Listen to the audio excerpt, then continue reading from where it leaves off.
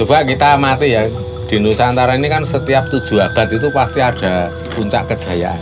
Nah sekarang hidup di abad keberapa? 14 plus 7, 21. Situs yang mengarah ke periode abad 11, 12 itu berarti di sini menjadi titik yang sangat penting masa peralihan dari Mataram kuno ke Jawa Timur. Dulu mengkoyok negeri dongeng Mojopahit ternyata ya terbukti Nah dulu kan negara Kertagama Sutasoma itu kayak dianggap ah meng dongeng. Kayak kancil nyolong timun ya. meng kaya legenda atau meng kaya mitologi.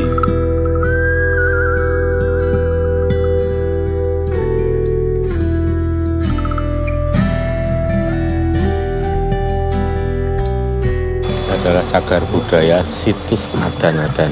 Ini sudah masuk ke Undang-Undang Perlindungan tentang cagar budaya. Disahkan nomor 2 tahun 2010 di sini sebuah arca Harapala ditemukan posisi berdiri di sebuah lahan kebun durian di desa Adan-Adan kecamatan Gurah Kabupaten Kediri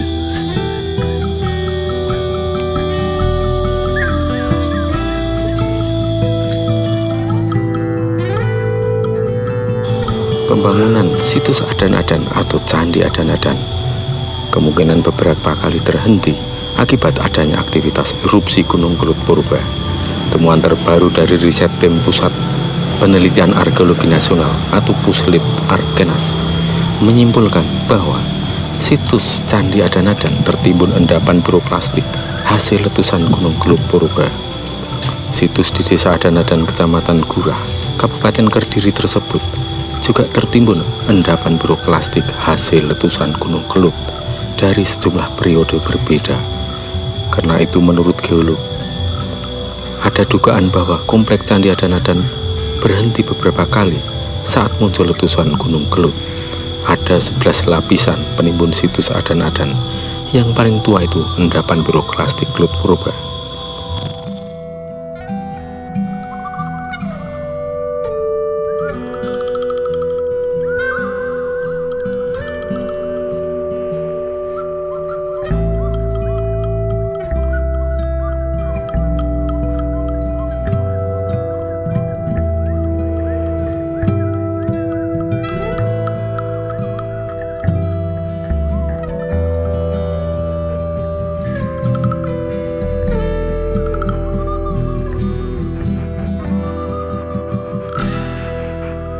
Samsudin. Pak Haji Samsudin nih kita ngobrol-ngobrol ya. Oke, ini ada ada. harapan bagaimana dengan adanya situs ini untuk kemakmuran warga sekitar terus pundi harapan ibu Pak Ya, har- Samsudin. harapannya ya bisa menjadi sejahtera lah, Ya, menambah peningkatan ekonomi masyarakat lingkungannya. Kalau ada kegiatan ya permintaan saya harapan saya itu melibatkan tetangga atau lingkungannya warga warga sekitar. Ya. Ya, Ya. itu sebenarnya permintaan yang wajar sekali dan memang harusnya seperti itu jangan sampai ini membawa kemakmuran tetapi ya warga sekitar tertinggal. Nah, Nah, itu kan malah nanti timpang ya, ya, tidak di- dirasa nanti kurang adil juga. Itu sebenarnya harapan yang sederhana dari Pak Sam. Terus nanti untuk ke depannya mungkin kalau ini dibuka ke sana ya ini karena itu yang situs di sana itu kan masih nyambung, Ya. masih nyambung masih insya banyak. Allah nyambung. Ya, ini karena tidak ya tidak menutup kemungkinan ini hanya sebatas di sini saja tapi bisa luas bahkan mungkin sampai ke bawah makam pun itu bisa jadi karena memang belum kelihatan. Kalau rumian waktu biasa pasti tahun 2016 nih kok kan berita nih kok wonten sing kesurupan apa perlu ngantos edan niku terus Wah, kula mboten paham. daerah adan-adan ngoten nggih. Kok kok ten beritane kok wonten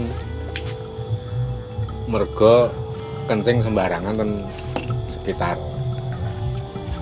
Terus kerasukan habis itu gila.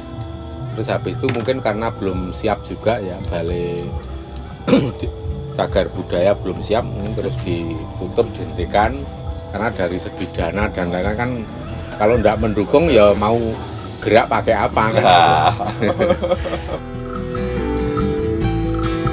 Nah, ini loh Pak Samsudin kita kenalkan sedulur-sedulur semua pandemen kabudayan Jawa. Ini sebagai pemilik kebun ini yang dulunya mungkin sampun ngertos dereng ya menawi rombien wonten tanda-tanda ngoten. Candi. Nggih. Nyangka ndak lo di bawah itu kira-kira ada itu nyangka ndak dulu? Pernah nyangka ndak Pak Samsudin? Ya nyangka toh. Nyangka ya? candi, yo. Oh, Namanya ya. aja candi kan bawahnya. Ah iya iya ada. betul betul. Kalau enggak mengetahui Tahu betul kalau memang kemungkinan di bawah itu ada. ya perkiraan. Tapi yang dilalah ini ya sebenarnya yang bejo jenengan yang beruntung karena Yang memiliki bejo, yang bejo itu nah itu wah ini soal so- soalnya apa ya? Memiliki lahan yang kebetulan ada situsnya itu sebenarnya sangat beruntung. Karena walaupun nantinya dinas purbakala akan mengelola tapi jelas tidak akan merugikan. Malah justru biasanya di kemudian hari itu ada semacam apresiasi dari berbagai pihak selain pemerintah mungkin juga pelestari budaya situs-situs internasional biasanya dari LSM luar negeri, LSM luar apresiasi. Kale BPCB dereng dipun oh nggih. Biasanya man senes ganti rugi tapi ganti untung. Cek sampun-sampun ngoten Dados pohon-pohon. dereng- Dereng wonten pembicaraan. dereng wonten. Dereng.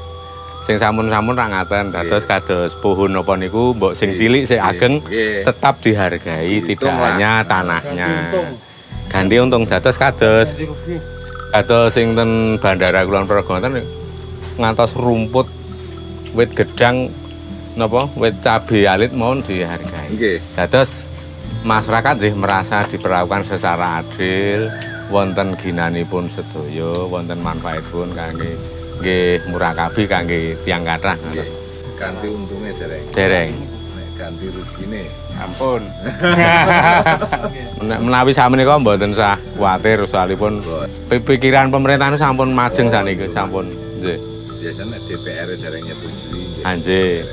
Perkembangan niku mboten kados zaman riyen nggih. Saniki sangat didengar aspirasi terutama yang punya pemilik aset tanah. Kalau di Google itu kan mapnya menjadi anu, ngono lho. Gempur. ya. Yo, iya itu memang dulu gempur namanya Candi Gempur. Oh. Terus orang-orang datang. Nah ini nih, sing perlu di dusun ini penting. di Ini Candi Gempur niku kan kalau rumian aslinya memang masyarakat sini sudah tahu kalau namanya Candi Gempur. Gempur karena candinya Sudah sudah. Hancur. Oh, karena menunjuk dari bentuk atau wujudnya. Terus anu nih kamu. Monggo roti ini, monggo. tutup nih. ini campur nih wau santai mawon. Wong kula niki. Mbah kula niki Jawa Tengah. kok. ayo Bapak kula keturunan Ponorogo. Ponorogo. Karang buyut kula saking Karanggebang. Rumiyin kan sebelum dipecah ceritane kan Mawi ibu Jawa Tengah. ibu pun kelahiran mriki tapi Hmm. Mbak Buyut King Sragen. Hmm. Aneh bentuknya apa mas? Menurut dari yang tadi arkeologi artefak yang kelihatan Diani Buddha Jani Buddha. Diani Buddha kami tabai Hmm. yang seperti di Borobudur itu kan sama seperti itu Terus ini bahannya juga batu andesit. Jadi kalau ada kemungkinan sambungannya dari Mataram kuno itu ya Ya, bukan musahil, Iya. memper. Memper, memper, Memper. disebutnya memper. Nggih. Membo, memper. Kalau di sini ada ditemukan bata merah belum? Banyak, Banyak juga. banyak. Wah itu. Nah, bentengnya itu bata merah. Oh bentengnya bata merah. Iya. Tebal 120. Tebal 120 berarti lebih tebal dari yang kumitir. Iya. Itu memang kalau indikasi dari batu bata merah itu ya le- lebih tua dari Majapahit. Kalau batu bata merah yang seperti Yang itu. besar. Iya, yang besar. Kalau Kalau di sini itu kan dulu kerajaannya kalau Kediri itu kan ada wilayah Singosari, terus kemudian Kediri, nanti ada Daha Kahuripan, sing kemarin situsnya ditemukan di Sumber Beji itu kan mengarah ke Kahuripan dan Daha. Berbeci ngoro. Nggih, Jombang. Nah, sedangkan di sini ternyata disambung ke barat lagi ini lebih tua. Dan kalau dilihat dari masa vakumnya peradaban di Jawa Tengah itu kan sekitar akhir abad 10 itu perkembangan kemudian seperti terputus kebudayaannya termasuk peninggalan-peninggalan artefak itu seperti sudah berhenti di abad ke-10 ya kalau nggak Iya, salah. Nah setelah itu kan kalau ini memang nanti ditemukan situs yang mengarah ke periode abad 11, 12 itu berarti di sini menjadi titik yang sangat penting masa peralihan dari Mataram kuno ke Jawa Timur. Makanya ini yang kenapa Badan Arkeologi ya Cagar Budaya Pelestarian Budaya itu menganggap ini penting sekali itu karena untuk data abad ke-11 dan 12 itu sangat miskin sekali. Eh, minim, minim sekali. Kalau memang ini nanti mengarah ke sana kan ini Jadi anu sambungan. jadi ini merupakan sambungan, sambungan dari apa namanya? Dari peradaban Mataram kuno ke Jawa Timur. Apalagi di sini kan ini seperti peninggalan tradisi Buddha. Terus nggak jauh itu disinyalir eh, Hindu. Kalau Hindu itu kan tipikal atau khasnya Jawa Timur. Ya campur. Nah dari di sini mung- kemungkinan itu ada asimilasi dan akulturasi ya, budaya. sinkretisme. Dadi nek bicara soal kerukunan umat beragama itu pun nenek moyangnya awake dhewe niku zaman riyen niku pun hebat. Rukun itu rukun tenan, rukun banget. Ah, tempat ibadah, tempat suci pun jejer beda kamu mboten.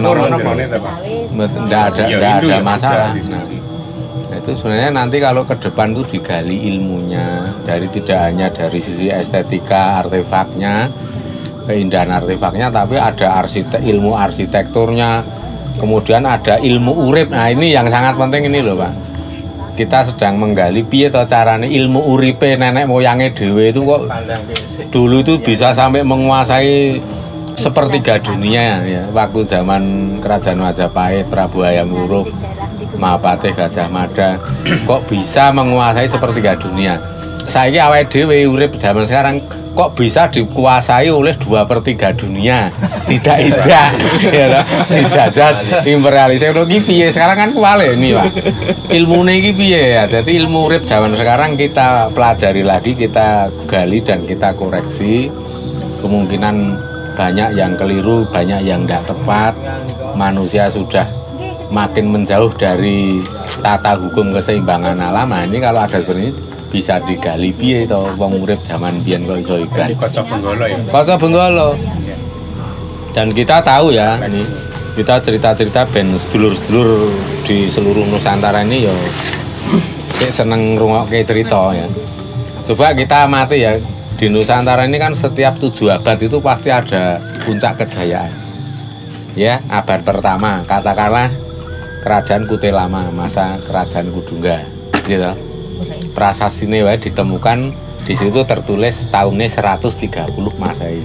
Berarti menceritakan masa sebelumnya. Itu kayaknya abad 4 lebih kota itu. Tapi ada prasasti yang tertulis di situ tahunnya 130 sudah menceritakan Kutai. Kutai lama.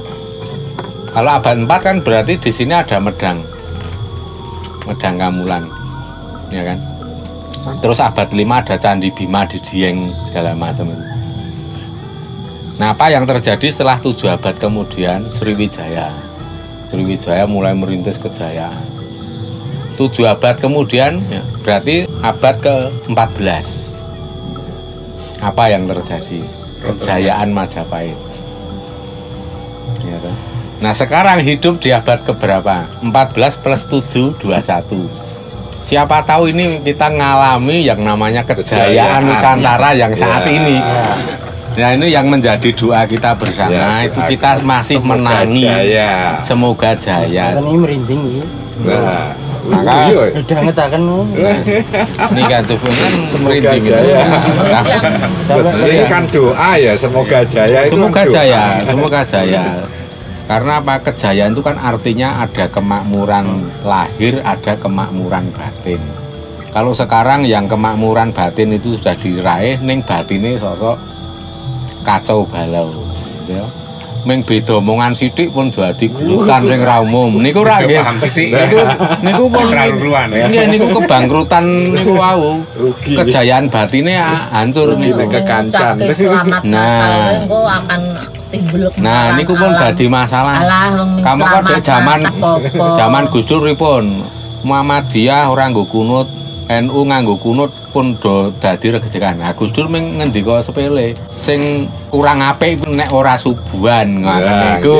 Nah, Niku Gus Dur lah. Niku versi Gus Dur rak ngoten niku. Mboten kok nggon bab kunut. nek sing ngagamane Islam Niku sing nggih, agamane Islam. sing dimaksud niku nang niku. Nah, nggih. Nek sing liyane nggih pun nggih cara dhewe sumangga. Nah ini kita kan ada yang namanya harapan. Sopo ngerti kita itu hidup di generasi sekarang itu bisa menangi kejayaannya Maksudnya- Nuswantoro. Maksud maksudnya nek nek jabarne kunut geng udur-uduran niku wau nak mana sing Islam tapi ora ngenyang. Nggih. Nah, nggih, niku wae. Kok malah udur kunut. Enggak, Ora penting. Nggih kok mah udur. Nah niku ming contoh Contoh.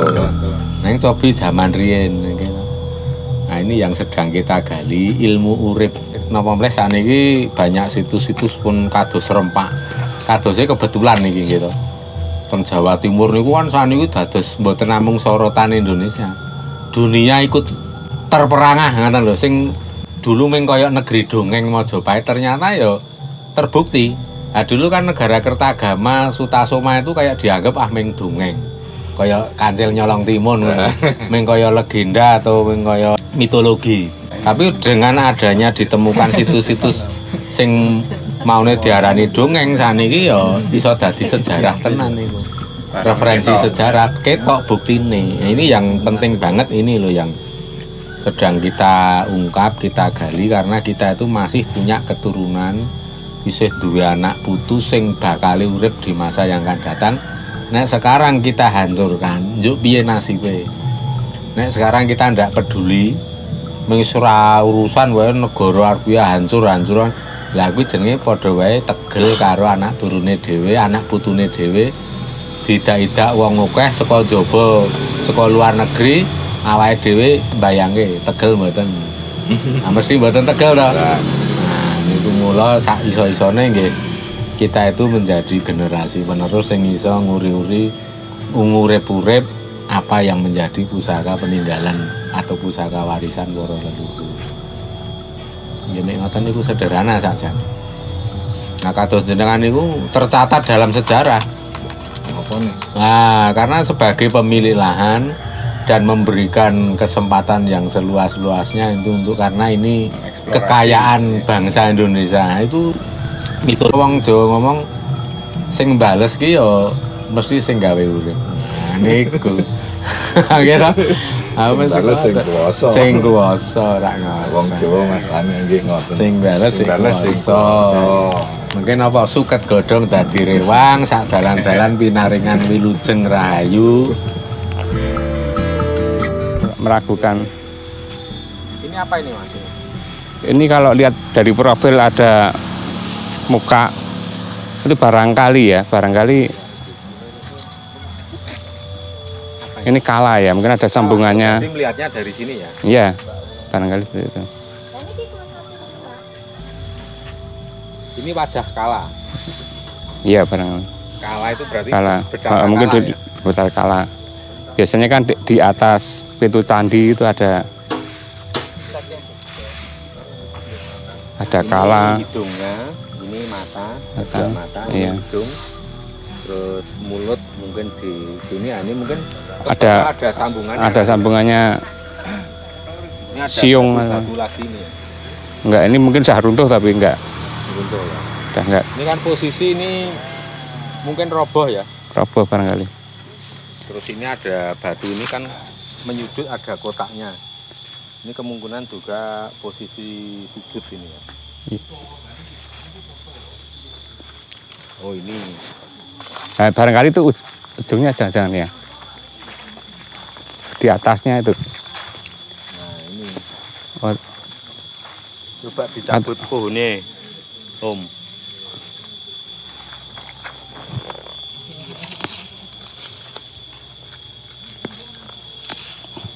Nah ini kelihatan, ini kepala dari patung apa itu namanya? atau anu nih, ini ini makar yang di kanan kiri itu ya. Makaran di kanan kiri. Ya, Oh ya ini ini yang se- sepasang Itu anunya. yang kedua ini. Ini ya, Iya, maka kan berarti di atasnya ini, ada ada lagi Ada lagi. untuk ini kan ujungnya, iya. Ini slope-nya nih. Terus ini lihat batu-batu yang di dalam sini.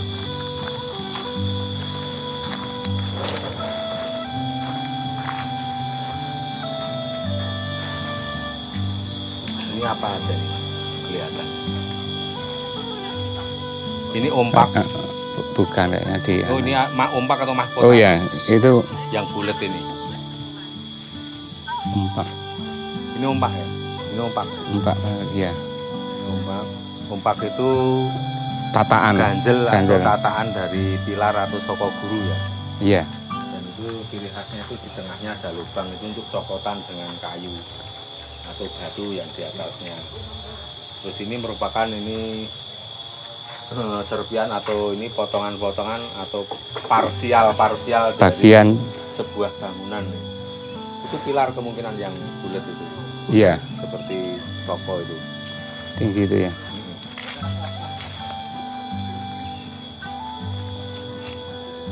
Ini apa mas? Kalau bentuk ini enggak nganu ya. Kemungkinan apa ini? Pilar kemungkinan enggak? Yang menyangga satu bangunan kemungkinan enggak?